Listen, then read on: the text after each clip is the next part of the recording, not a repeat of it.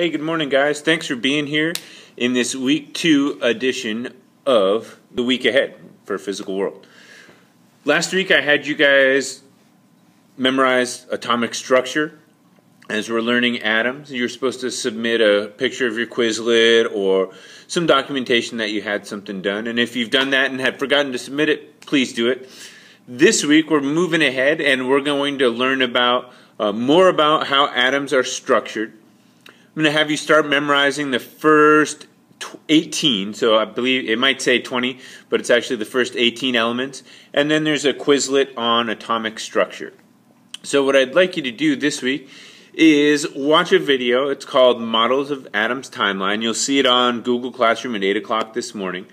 And there are notes that go along with it. Then there is uh, some practice atomic structure stuff that's on Quizlet. And I just need to see a screenshot of your highest score on Quizlet.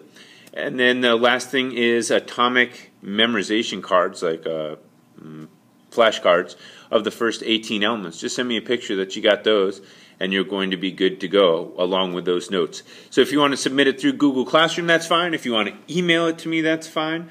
But it is helpful for me to hear from you. If you could email me at some point this week, um, that's how, or turn your work in or whatever, that's how you get counted as present in class. So to be counted as present in class, I have to have a contact with you. That could be email, that could be phone, that could be you just turning in your work where you click off like, yep, this is done on Google Classroom.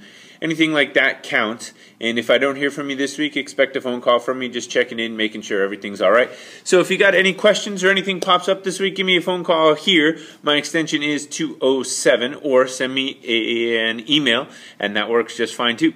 So I hope this week finds you guys well and I hope that you have a wonderful week. You're spending time with family and enjoying your time um, in the weather.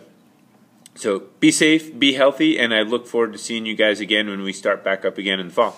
Bye.